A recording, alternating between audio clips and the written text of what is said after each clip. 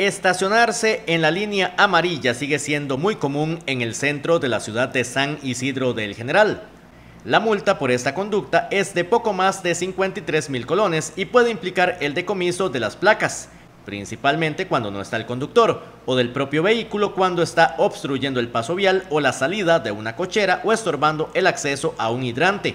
Primero que todo, el irrespeto a la demarcación o la franja amarilla, eh, después está lo que es el irrespeto a la señal vertical de no estacionar, eh, conductores que se estacionan en zonas de, taxi, zonas de taxi de carga y también que no, respetan eh, los 5 metros o los 10 metros de estacionarse en las esquinas, en el centro de población. La falta de atención al señalamiento o los excesos de confianza son aspectos que exponen los conductores cuando son sorprendidos.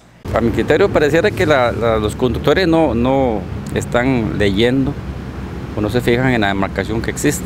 Entonces simple y sencillamente se bajan y muchas que se sancionan nos dicen que es que, no vieron la demarcación o que es un momentito que nos estamos bajando para hacer algún, alguna cuestión, algún trámite, pero definitivamente si, está, si existe la prohibición de estacionarse no, no deberían de estar estacionados ahí.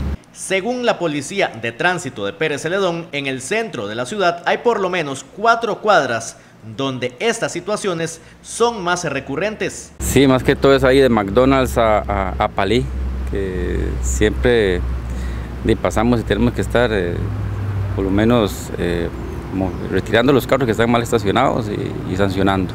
Además de los controles, la mayoría de atenciones por estacionamiento indebido se dan por denuncias de ciudadanos.